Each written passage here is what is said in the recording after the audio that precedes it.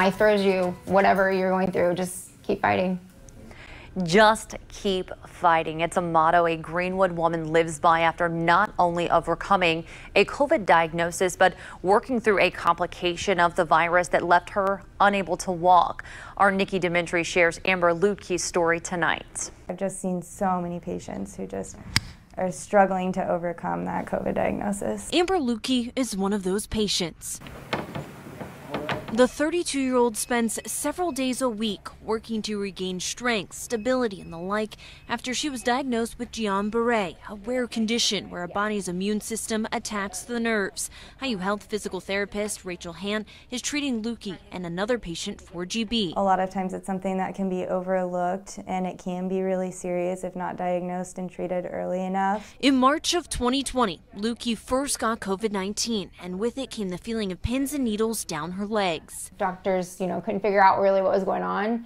Um, it was just COVID, so I just kind of lived with it. Her symptoms, well, they never really went away, but instead worsened this past December. That's when she caught COVID again. This time, she lost feeling in her legs, and the numbness and tingling spread to her arms. Am, am I gonna die? Am I what, what's going on? What's going on with my body? What do I do from here? Doctors diagnosed her with GB, adding it was a complication from COVID 19. She spent time in the hospital and started PT.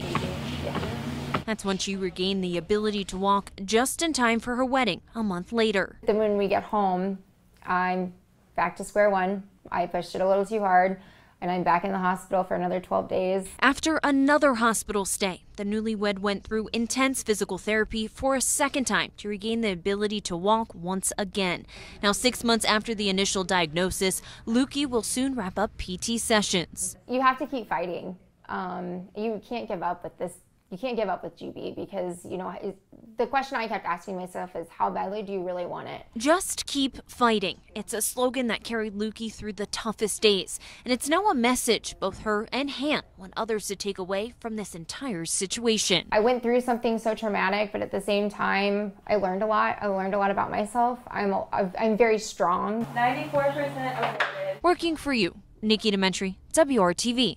Lutke is expected to make a full recovery. The 32-year-old is hoping that by sharing her story, others will know how to identify GB and will take COVID-19 seriously.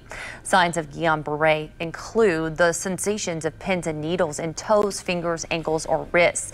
Other symptoms include weakness, unsteadiness on your feet, and double vision, among other things. Updated COVID-19 vaccines could be on the way in time for the fall. This week, the FDA's Committee of Independent Advisors recommended that vaccines should be updated to target the latest Omicron variant. ABC News reports that recommendation kicks off the process for distribu distribution of the new vaccines this fall, but the FDA will make its final decision sometime in early July. The agency says health officials are aiming to roll out the newly designed vaccines in early October ahead of a potential surge this upcoming winter.